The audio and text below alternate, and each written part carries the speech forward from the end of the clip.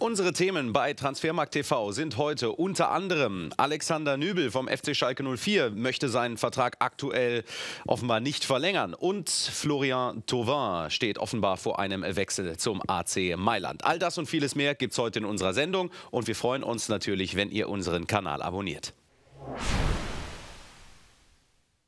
Hertha BSC und Trainer Paul Dardai gehen im Sommer vorerst getrennte Wege. Der 43-Jährige und die Berliner einigten sich einvernehmlich auf eine Trennung zum Saisonende. Die Entscheidung sei nach einer eingehenden Analyse der Gesamtsituation gefallen. Aber Dardai bleibt bei den Berlinern unter Vertrag. Nach einem Jahr Pause soll der Ungar im Sommer 2020 wieder als Nachwuchstrainer für Hertha aktiv werden. Tja, und hinter Freiburgs Trainer Christian Streich war Paul Dardai der dienstälteste Coach der Bundesliga, beziehungsweise ist das eben immer noch. Da sehen wir diejenigen, die am längsten im Amt sind, ganz unten Christian Streich, Julian Nagelsmann auch noch sehr weit vorne mit dabei. Der wird ja auch im Sommer seinen Verein verlassen, also diese Statistik wird sich etwas drehen. Borussia Mönchengladbach hat den ursprünglich bis 2020 gültigen Vertrag mit Jonas Hofmann vorzeitig verlängert. Das gab der Tabellenfünfte der Bundesliga heute offiziell bekannt. Der 26-Jährige unterschrieb ein neues Arbeitspapier bis Sommer 2023. In dieser Saison kommt Hofmann auf sechs Tore und sieben Vorlagen für die Fohlen 11. Santiago Ascasiba vom VfB Stuttgart ist für seine Spuckattacke gegen Kai Havertz vom DFB Sportgericht für sechs Wochen gesperrt worden. Also die reguläre Bundesliga-Saison ist damit für den Argentinier beendet. Er wäre lediglich bei einer möglichen Relegation im Rückspiel wieder einsetzbar. Beim FC Bayern laufen die Planungen für die neue Spielzeit auf Hochtouren. Nach den feststehenden Verpflichtungen von Lucas Hernandez, Benjamin Pavard und Fiete Ab für insgesamt 118 Millionen Euro ist klar, dass der Ausgabenrekord in der Bundesliga geknackt wird. Einen einzelnen Transfer für die Summe von 100 Millionen Euro oder mehr schloss Uli Hoeneß aber gegenüber der DPA zumindest in diesem Sommer aus. Dieses Jahr sicherlich nicht und ich muss zugeben, auch 80 Millionen hätte ich mir vor zehn Jahren nicht vorstellen können. Aber dann schauen wir mal, was die Zukunft bringt. Fred Rütten und der RSC Anderlecht gehen mit sofortiger Wirkung getrennte Wege. Wie der belgische Erstligist heute bekannt gab, trennten sich der Club und der Coach nach ziemlich genau 99 Tagen. Nachdem Anderlecht in der regulären Spielzeit als Tabellenvierter abschloss, verlor das Team seitdem alle vier Spiele in den Playoffs um die Meisterschaft. Unser Top-Thema am heutigen Tag dreht sich um den Keeper vom FC Schalke 04, um Alexander Nübel. Gerade einmal 22 Jahre jung und er ist mittlerweile der Stammtorwart bei Königsblau.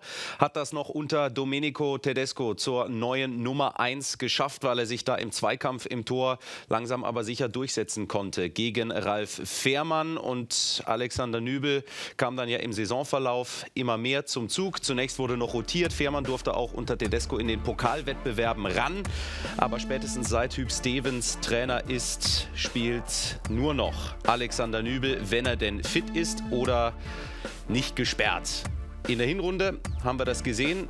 Dreimal durfte er ran und in der Rückrunde, abgesehen eben von seiner Sperre, ist das äh, deutlich regelmäßiger, wie er da zum Einsatz kommt. Und nicht nur Hüb Stevens, sondern ganz Schalke 04 setzt auf diesen Alexander Nübel.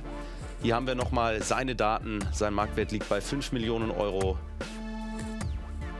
13 Spiele hat er in der Bundesliga absolviert, dreimal die Null gehalten, 21 Gegentore kassiert.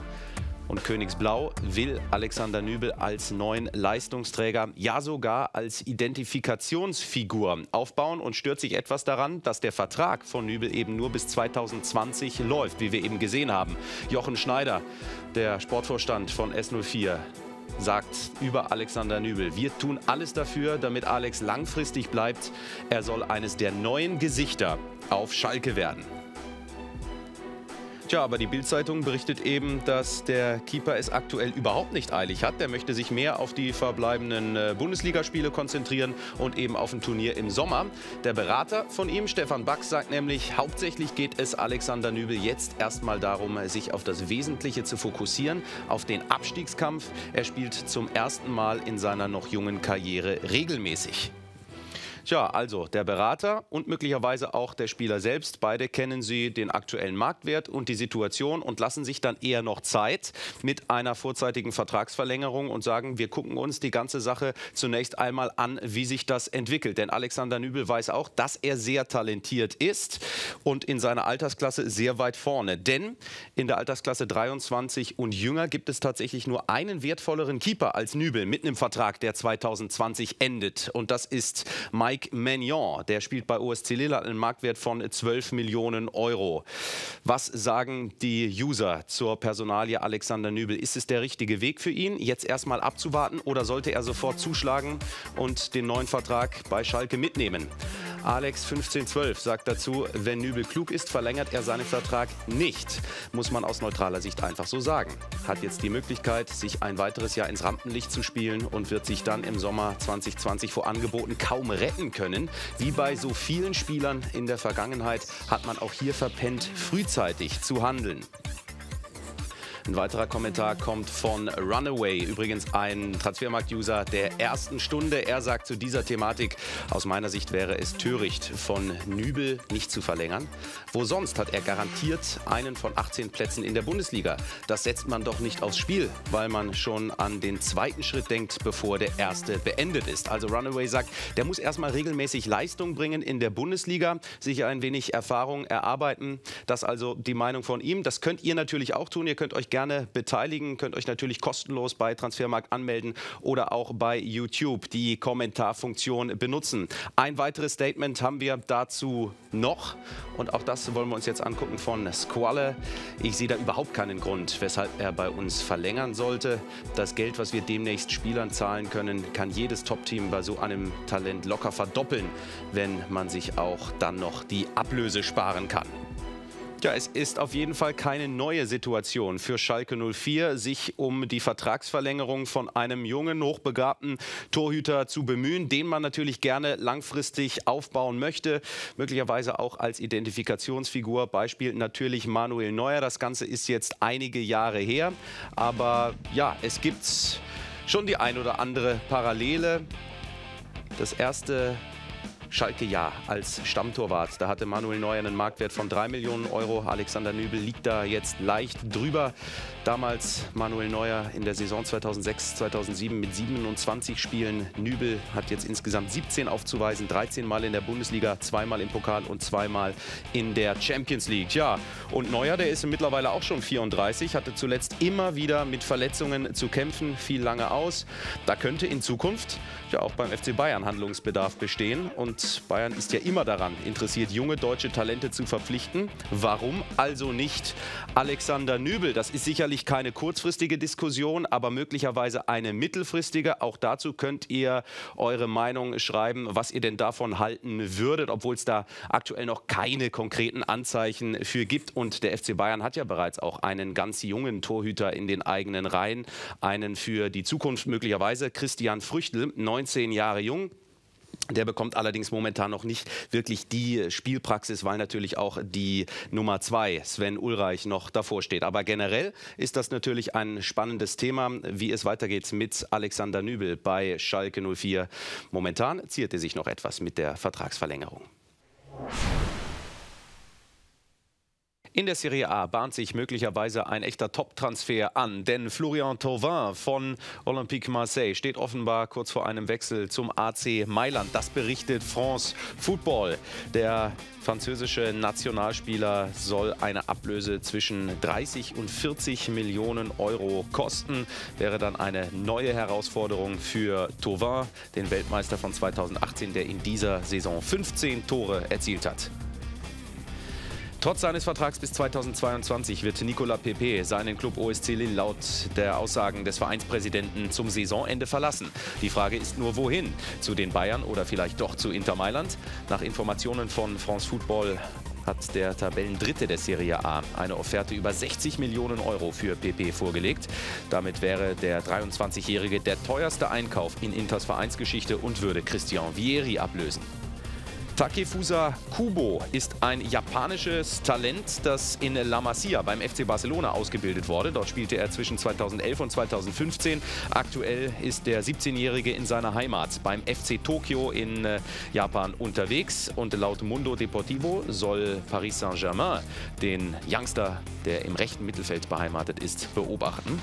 Der war ja auch schon mal bei uns im Transfermarkt. Talentekalender. Der englische Nationalspieler Declan Rice von West Ham United ist auf der Insel in aller Munde. Über ein Interesse von Manchester United am 20-jährigen defensiven Mittelfeldspieler wurde ja bereits spekuliert. Nun soll auch Real Madrid an Rice interessiert sein. Das behauptet zumindest der Ex-Premier League-Profi Scott Minto, der mittlerweile als TV-Experte arbeitet. Mohamed Bejic ist derzeit vom FC Everton an den englischen Zweitligisten FC Middlesbrough verliehen und kam dort zu 32 Championship-Einsätzen. Laut der englischen The Sun sollen zwei Clubs aus der Türkei eine Verpflichtung des 26-Jährigen ins Auge fassen, nämlich die Istanbuler Vereine Besiktas und Fenerbahce. Und nach Informationen des niederländischen Magazins Football International haben mehrere Clubs, darunter der Bundesligist SC Freiburg, Interesse an Marc Diemers von Fortuna Citat. Nach 24 Torbeteiligungen in der zweiten holländischen Liga in der letzten Saison wechselte Diemers im Sommer ablösefrei von De Graafschap zu Fortuna. Dort ist er unumstrittener Stammspieler, erzielte fünf Tore und bereitete sechs weitere Treffer vor. In unserer Sendung gestern haben wir über den Italiener Nicolo Saniolo gesprochen. Da ging es ja um das Gerücht zum FC Bayern und darum, dass der Mann seinen Marktwert unfassbar steigern konnte in dieser Saison von einer Million Euro auf 40 Millionen Euro. Nur zehn Spieler weltweit konnten ihren Marktwert seit dem letzten Sommer noch mehr steigern als dieser Nicolo Saniolo. Und auf die Top 5 von diesen Spielern wollen wir jetzt mal blicken. Luka Jovic aus der Bundesliga ist beispielsweise da dabei. Ein Plus von 47 Millionen Euro seit Sommer 2018. Neuer Marktwert 55 Millionen Euro.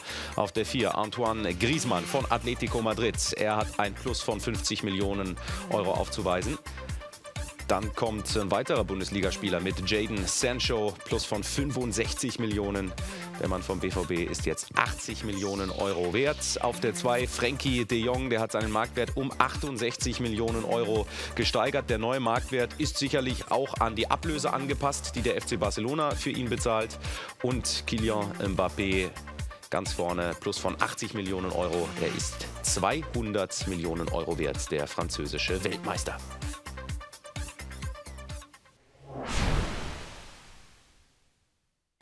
Heute und morgen wird es wieder richtig spannend in der Champions League. Dann stehen die Rückspiele der Viertelfinals an und die bisherigen vier Duelle, die es ja gab in der letzten Woche in den Hinspielen, waren allesamt richtig, richtig knapp. Tottenham gegen City, Ajax gegen Juve, United gegen Barca und Liverpool gegen Porto. Heute finden die ersten zwei Rückspiele statt.